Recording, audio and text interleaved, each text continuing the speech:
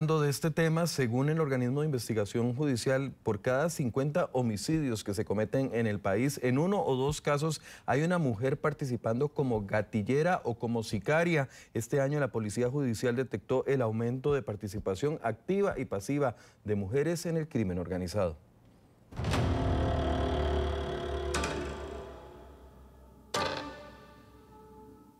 Por cada 50 homicidios, en uno o dos casos hay una mujer participando como gatillera. Esta es una cifra que el organismo de investigación judicial detectó durante el 2023, el aumento de la participación activa y pasiva de mujeres en el crimen organizado. Y en el caso de aquellas que son facilitadoras de homicidios, la cifra es mayor.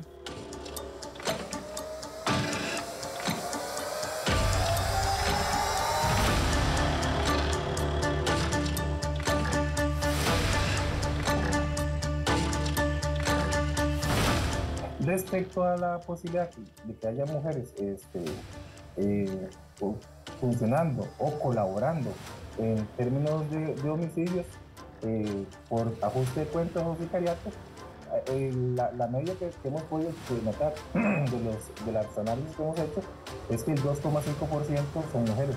Entonces voy a estar hablando que en cada, que cada 50 homicidios este, por sicariato hay una mujer involucrada. Entonces es una cifra que en realidad no es tan grande, pero es una cifra que ya, ya estamos teniendo, que anteriormente no se veía. Según la Policía Judicial, este año también aumentaron las muertes violentas de mujeres. Se contabilizan al menos 68 casos, mientras que en 2022 fueron 43. Pero los especialistas señalan que el fenómeno debe analizarse según el protagonismo de cada una.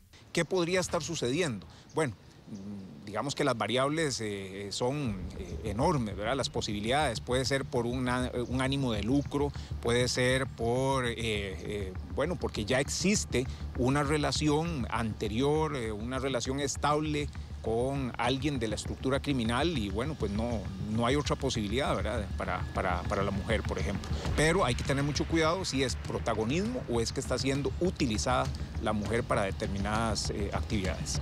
También se debe tomar en cuenta la posibilidad de decisión de las mujeres, pues podrían estar motivadas por amenazas o miedo, lo que las convertiría en víctimas.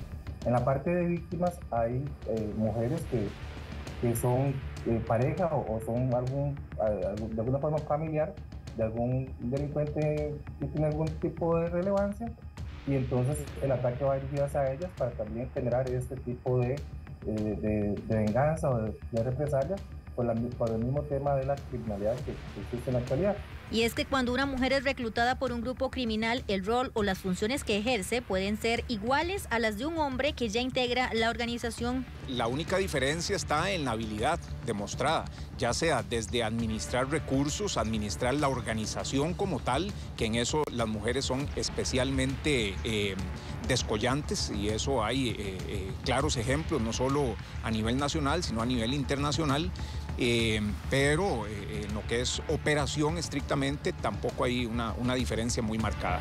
Vamos a encontrar y hemos visto mujeres eh, ejecutando homicidios, estableciendo o formando parte de la estructura armada de una organización. De acuerdo con el OIJ, el aumento de la participación de mujeres en el crimen organizado se debe a la misma descomposición social, un caldo de cultivo para que cualquiera busque sustento ingresando a las filas de bandas criminales. Esto obedece fundamentalmente a que las mujeres, como cualquier otro individuo, van siendo cooptadas por este crimen organizado que requiere de más personas para ir haciendo sus fechorías.